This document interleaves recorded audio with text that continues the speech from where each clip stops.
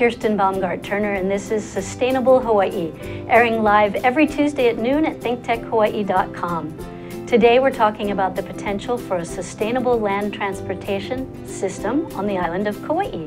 Back in 1991, I helped the County of Kauai and its private sector partners develop an overall economic development plan in which citizens envisioned the island as a model for sustainable transportation, amongst other things. 25 years later, then mayor and 20-year Kauai County Council member JoAnn Yukimura is still striving to turn that vision into reality. While mayor, she started Kauai's public transportation system, the Kauai Bus, which has grown substantially over the last decade. Recently, as presenting chair of the Council's Housing and Transportation Committee, she was instrumental in securing monies for the Kauai Multimodal Land Transportation Plan, the unstoppable graduate of Stanford University and the University of Washington Law School, is here to tell us about this cutting edge plan. Welcome, Council Member Yukimura. Aloha, Kirsten, and We- aloha to your audience. We appreciate you coming from Kauai to keep us all informed of the latest and cutting edge initiatives on Kauai. And we know that this is such a hot topic for Hawaii in general as we try to meet our uh, 100% renewable energy goals. Tell us a little bit about this plan, and I think you've brought it with you. Well, let me just say that our transportation or our traffic problems are not as bad as Oahu, and we're trying, but we do have big problems. We're on a two lane system basically, which was built when our population was 30,000, and now it's 70,000. So there are major delays and major um, there's major congestion, at least from our standpoint and our standard of a rural community. I do remember when I lived on Kauai, uh, beginning in 1988, there was one traffic light. And I thought that was one of the most attractive things about Kauai.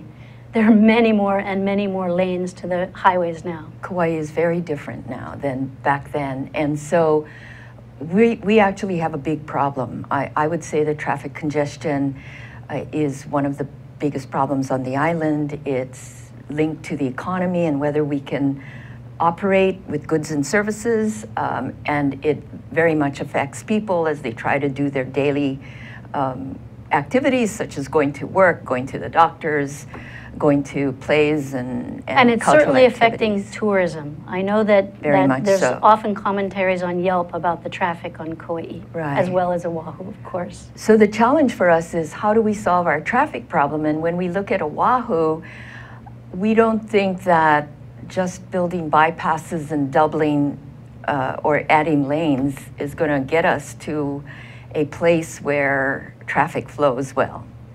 And, and so we, we do have a, a different approach. Um, it's, it's I don't know that it's anywhere else in the state right now. And so we did a plan in 2013. The, um, the council adopted this Kauai Multimodal Land Transportation Plan, and it outlines in a very thorough way another approach. And that approach is to keep vehicle miles traveled flat or stable and not see it grow. And um, the next graph that we'll see shows what our goal is. You can see that um, it shows the millions of miles per year that are traveled in vehicles on the island, vehicle miles traveled. And if we go with a baseline scenario where a business as usual, it'll go from 771 million to 914 million miles over the next 20 years. If we do the preferred route, we will keep the number of miles traveled by vehicles uh, basically flat. And how we're going to do that is called mode shift. And that's the next chart coming up. Um, we're going to shift the mode of travel. You can see that in 2010, the single occupant vehicle, SOV, and the multiple occupant vehicle, um, or actually it's multiple occupant auto, took up more than 90% of the number of trips made on the island, whereas transit walking and bicycling were much, much less. If we implement our multimodal land transportation plan, by 2035, you will see a substantial drop in the single occupancy vehicle and multiple occupant auto. Even though it's still the same, we will double our walking, transit, and bicycling, actually almost triple um, those modes of travel. And by doing that, we think we can keep vehicle miles traveled less and therefore um, have much better flow and mobility on our island. So the multimodal transportation plan then must involve development plans as you move forward with any new residential units or tourism units, that this would involve incorporating in that a, a much more walking community, perhaps the complete streets model? Uh, complete streets is an integral part of this mode shift where we create streets that are not made just for cars, but also give fair access to and safe access to bicyclists, bicyclists, pedestrians, and transit. And we also have to, land use and transportation are inter, inextricably intertwined. And so it, we will also need to place our housing close to jobs and services. In fact, our plan says you cannot do it by mode shift alone. You have to also change the, um, our land use planning and, and not have these long commutes, but have people be able to walk or bike to work or short car or transit trips. So it's also part of the approach of transit-oriented development so that people's uh, trips are shortened as much as possible. And the only way to do that is with land planning and how is this then intertwined with the general plan development on Kauai? Well, we are right now updating our general plan, but basically it's about where we locate our housing and we want to locate it close to services. And so actually, um, we just finished our Lihue community plan and that is seen as the main area for growth of housing um, because we know that transportation costs really affect total housing costs. You might get a, a, affordable house, but if it's far away from where you work, that cost has to be factored in and can really affect household income. And that doesn't even mention what you what you discussed earlier, which is a drop in productivity as people have to commute longer. I know that that's the difficulty for people on the west side of Oahu right now is huge loss in productivity sitting in traffic. Or the families on the Big Island, where, you know, the parent leaves before the ch children wake up to go to school and come back after the children are in bed. It's, it's not just about productivity, but it's about family time and quality of life. Um, you know, on Kauai, we don't have as long distances, but the long commutes and the traffic congestion do, I mean, not the long, the long or the time. Yes. Yeah. The, the commute, the commutes being stuck in traffic, um, do affect uh, our quality of life tremendously, and also. Um, so, in order to do that, we have to. Oh, thank you. Look at this chart. Um, that explains how much capacity of road you can free up when you shift the mode. That shows, I think, 60 cars um, with 60 people in each car. All the riders are are gathered mm-hmm. in in a cluster, but um, those people in each, one in each car in the middle photo will take up a lot of road space. Whereas if they were in a bus, that's 60 people outside of a bus, you can see how much road space you free up. And bicycles on the uh, right hand side shows you also how shifting to the bike mode frees up road space. And that kind of conceptualizes the approach of the multimodal plan. And I would think that also gives a tremendous sense of relief in terms of oppressive density of space. You know, people will have a much greater sense of open space when you start Well, I would call cars. it more open roads. And, and I mean, that's what people are looking for. That's Right. what we need. Um, in order to do that, I want to say that we will have to grow the bus system actually by a thousand percent. Our plan shows that, and we can go to the um, transit growth chart, but it shows that we'll move from 1,641 trips weekly, those are our weekly fixed route transit ridership, in 2010, we will have to increase that by to 18,000 trips per week. And that's a major, major growth um, spurt that we have to do. But the good news is that we don't have to convince people to get into a bus.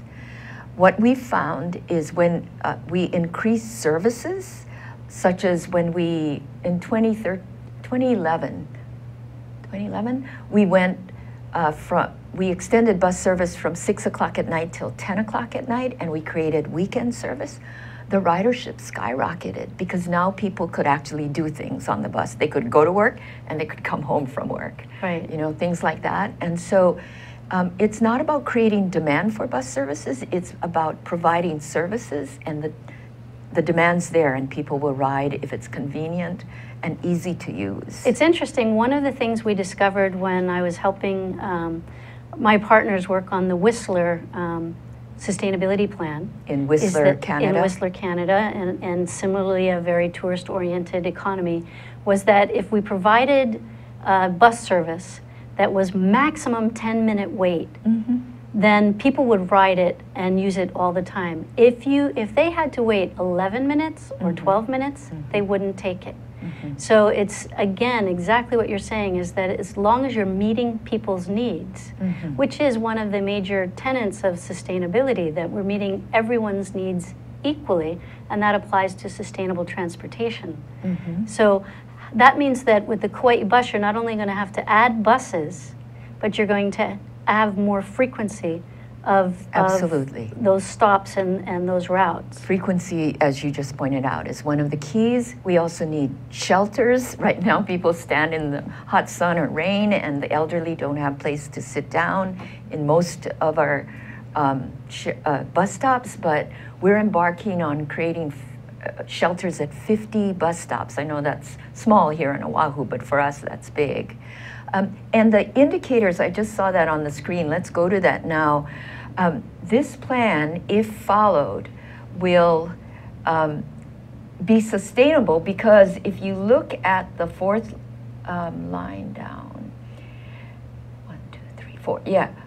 Oh, third line down, annual gallons of motor fuel consumed. And um, compared to the 2010 level, which is the first column, the baseline, is, the next column shows that the fuel consumed, if we just do business as usual, be about 13%. And that's because of car efficiency and electric cars and that kind of thing. But if we do the mode shift and the implement the multimodal plan, we're going to reduce fuel consumption by 27%. Wow, more than double. Yes, and and that's a goal I've heard nationally, you know, to reduce fuel consumption. And then if you go further down to annual greenhouse gas emissions, we will be, instead of reducing greenhouse gas emissions, it's related to efficiency. Um, by 13%, we're going to reduce it also by 27%. That's why this is a sustainability plan, because it's going to actually impact those sustainability indicators. And that proves the point that we often make, which is efficiency first, before we need to have technical, you know, renewable energy applications and other things, we've got to start being more efficient and reduce our consumption. Yes. So, so that's without any renewable energy technical applications mm-hmm. like more electric vehicles or more perhaps renewables sun, food, uh, fuel and re- more renewable fuel. But and besides that, there are so many more um, uh, other indicators that are going to move. And if we can go back to that sheet, you will see that fatalities, it's fourth from the bottom, fatalities mm-hmm. from motor vehicle collisions per 100 million VMT will, if we go with business as usual, we will have no drop in fatalities. But if we go with the preferred scenario under the multimodal plan, there'll be a 15% drop in fatalities. And you can see the weekday transit ridership just below that will move from 1,600 trips to a thousand percent increase to that 18,000 trips a week. And what I love is below that percent of adults meeting minimum levels of physical activity. This is a health plan as well for a healthy, healthier community. And you can see that we were at 50% of adults having minimal levels of physical activity in 2010. If we go with the baseline, business as usual, there'll be no increase. But if we go with the preferred plan, there'll be a 30 2% increase. 32% increase. We're going to take a short break, and when we come back, let's explore that a little bit more about healthy lifestyles as a result of good planning. All right. We'll be right back with Sustainable Hawaii. Aloha, I'm Carl Campagna. I hope you please visit us this summer. It's a wonderful summer. It's actually a cooler summer than we're used to. But I hope that you come back and visit us and watch our show, Education, Movers, Shakers, and Reformers, here on Think Tech Hawaii. It's at noon every Wednesday. See you then. Hello, I'm Marianne Sasaki. Welcome to Think Tech Hawaii, where some of the most interesting conversations in Honolulu go on. I have a show on Wednesdays from 1 to 2 called Life in the Law, where we discuss legal issues, politics, governmental topics, and a whole host of issues. I hope you'll join me. Aloha! This is Rez McJackal. The University of Hawaii football team under Rolovich is going to kick butt this season. In case you didn't understand me, University of Hawaii football team is going to kick butt under Rolovich this season. So be sure to follow us on Think Hawaii and Hibachi Top. I'll be at every game. And remember, aloha!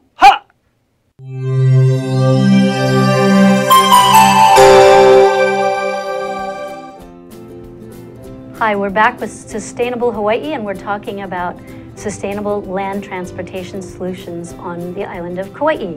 And former Mayor JoAnn Yukimura, current council member and chair of the uh, Housing and Transportation Committee, has been telling us about the Kauai Multimodal Land Transportation Plan.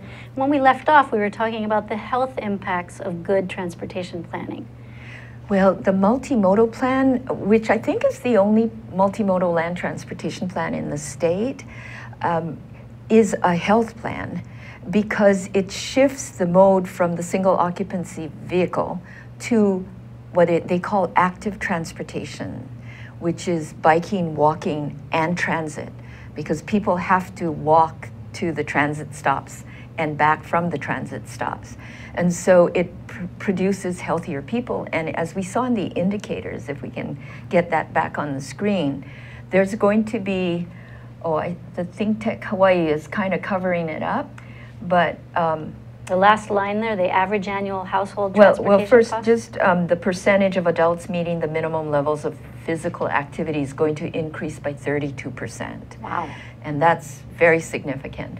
And then, as you pointed out, the, the other really great benefit of this plan and of this mode shift that we want to do is the average household transportation cost. You'll see that under the baseline scenario, it'll go up 15% if we continue just driving cars. And as we all know, the cost of oil and fuel, gas, will go up at some point. There's a projected 15% increase in average annual household transportation costs. Is, is that if the costs remain level at current costs of running an automobile? Um, I think it anticipates a little fuel cost ri- increase. Okay. but um, I, I'm sure it doesn't anticipate the really high possibilities. But look at the look at the um, preferred scenario. The last figure at the bottom is a six percent decrease in household transportation costs. And I want to tell the story about my friend John, who is a park ranger for the county. He lives in Waimea, commutes to work in Lihue every every week, and he um, used to pay $350 a month gas money to do the commute by car. Now he rides the bus with an annual pass that costs $400, which is $33 a month. So he's actually saving about $3,000 a year. Another bus rider said, that's like a pay raise. You That's know? like a great vacation that he can take on that money. Act, yes, that's right. And that's the kind of savings this sustainable transportation system will bring to our people. Does that transportation plan also include um, allowance for more electric vehicle charging and other things? It, it does, but boy, I mean, I just went to one hotel on our island and, and the char, I have an, a Leaf, an electric car, and the chargers were all broken. Um, so, you know, that whole, and there's no charger, public charger on the west side because there's no place with 200 cars, which I think is the requirement. Yeah. So, you, you know, I'm watching very closely the implementation for electric cars, and I'm not sure that we can rely on that to solve our transportation problems. Plus, if it's still single occupant vehicles, we have parking problems, we have car costs, we still have the old system. Right, that's only And one slice. unsustainable, yeah. Yeah, only one slice of the answer, and plus that is very specific to a certain slice of the population that can afford those cars. Right. Yeah, absolutely. So public transportation is a broader solution and a more socially just solution. So the major problem with implementing this plan is we don't have any money. And it's going to take money to have buses coming more frequently, to put up erect shel- bus shelters, to put Wi-Fi on the bus, which is one of our plans, um, to to have some park and ride. Um, and, and so that is the major challenge for me and others who want to see this system become reality. What is the estimated cost for full implementation of the plan? I don't know because what we're doing right now is a um, short term plan, a five year plan, which is going to give us more money. But I can tell you, in 2011, when we went from, to, from 6 o'clock to 10 o'clock at night and weekend service, which is every two hours, which is very difficult, it cost us a million dollars more in operating money. And, um, and that's why we need a, we don't, we can't do it on one-shot grants or capital. We, So you didn't get enough revenue to cover that we increased did, we, operation cost? we did, and the Ah. ridership skyrocketed. But now we have to go to the next level, which is probably every half hour on some of our really crowded routes. And, um, you know, oh, I, I had a $600,000 proposal in, for this year's budget to make weekends every hour instead of every two hours, and from two o'clock, instead of ending at two o'clock in the afternoons to end at 10 o'clock. And that cost 600,000. So, you know, more every year. Um, So you need the upfront cost, but you have faith that the revenue will cover those Well, costs once I you've... lobbied for a half percent excise tax because it's a regular funding source, just like the city has for their rail. And to the legislature's credit, they gave all the neighbor island counties uh, half percent, the option of a half percent tax. And I'm so sorry to report that none of the counties exercised that option, um, which expired on July 1st, a few days ago. And why is that?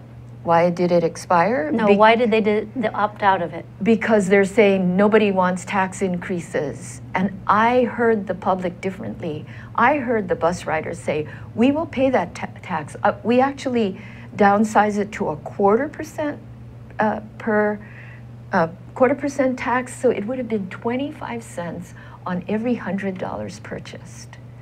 And it was regressive. It would hurt the poor families, but if you use it for transit, those are the families who would get the benefit. So it's actually not regressive when you look at the full impact and, and life cycle cost Well, of the excise tax. In the long run, as we make it more available for more families, um, it, you know, because right now just a small percentage of our families use it, but by making it more available, we will allow more of them to use it. So the regressivity, re- regressivity will get less and less. Right. Yeah. So in other words, those people who can't use it now because of the lack of uh, available timing, um, for example, those who might want to might work at a hotel and need to get on the bus late at night or early in the morning when it's not running, would then be allowed to use it. So therefore, the tax would be less regressive because they'd reap benefit once the service was put in place. Well, the thing to remember is tr- transit, when well done, benefits everyone because it clears the road, It um, helps our economy function better. It has health benefits. It has um, household income benefits. It has fatality, you know, accident levels.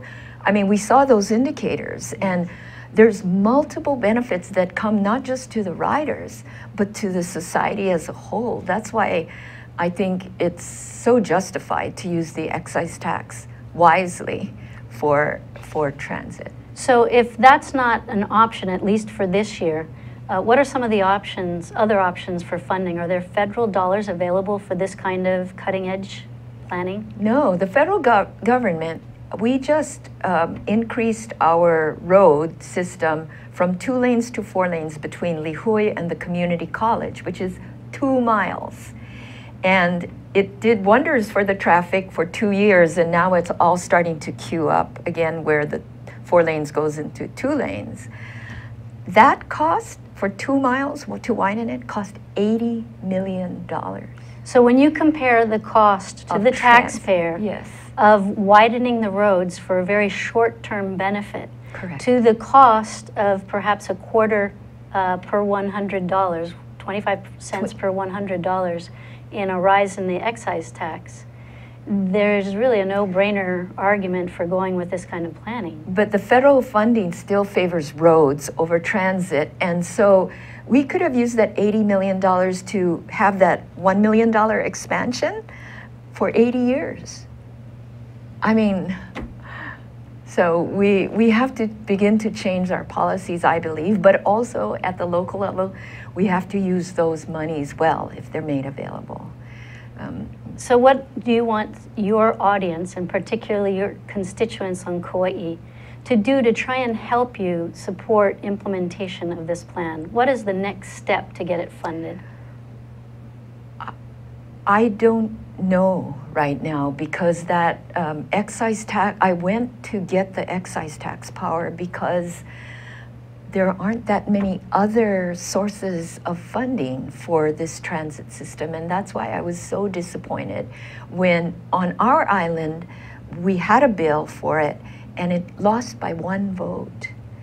Um, and, you know, I think we'll have to go back to the legislature, but it's hard to go back to them and say, give us the option again when we didn't even exercise it. So, one thing people can do is they can go up to their, their legislators and their council members and say, you know, we don't like taxes, but we want a better future for our island. We need a better transportation um, system, and we are willing to pay 25 cents for every $100 purchased to have a better system because this is going to be better for us and our children. And our, the generations before us made far bigger sacrifices for a good future. So please vote for a good future for us and fund this expansion because if we don't, the cost to quality of life, to our economy, to our families is going to be huge. Well, JoAnn, thank you so much for coming and sharing this really important planning element for Kauai. And I hope our listeners will come back and join us next Tuesday at 12 o'clock for Sustainable Hawaii.